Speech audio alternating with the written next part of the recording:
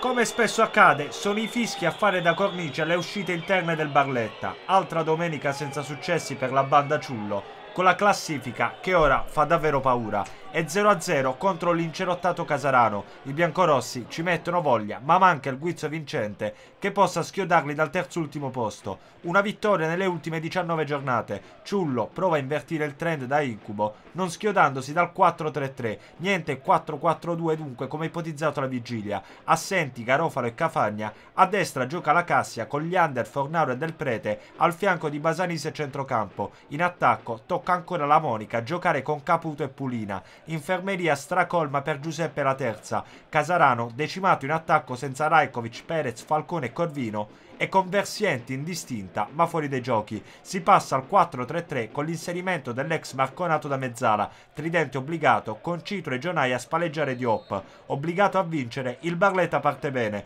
proiettile su punizione di Caputo, fuori davvero di poco. Al diciottesimo la Monica si incune nel buco salentino, ma caro tenuto preferito a Pucci e lesto in chiusura. Esce la distanza il Casarano, D'Alena senza pensarci, calcio da 30 metri, esaltando i riflessi di Guido. Il portiere, titolare anche quest'oggi, recupera la posizione ed effettua una gran parata. Sul corner, altra super chance Casarano. Guastamacchia gode di troppa libertà al centro, trova l'impatto, ma non l'appuntamento con lo 0-1. Grana per Ciullo, out la Cassia, dentro Rizzo, corsia di destra, ora con più spinta, ma meno copertura. Sprazzi di Gionai al 38esimo, converge da sinistra, ma da troppo giro al suo piazzato. L'ultimo brivido del primo tempo lo regala Caputo, prova a beffare caro tenuto dalla distanza, ma è solo corner. Caputo in evidenza anche ad inizio ripresa, aggancia col sinistro l'assist di Ramonica e calcia con l'esterno destro, ma caro tenuto c'è. Ci riprova Gionai al 54esimo, la giocata è la stessa del primo tempo, l'esito anche.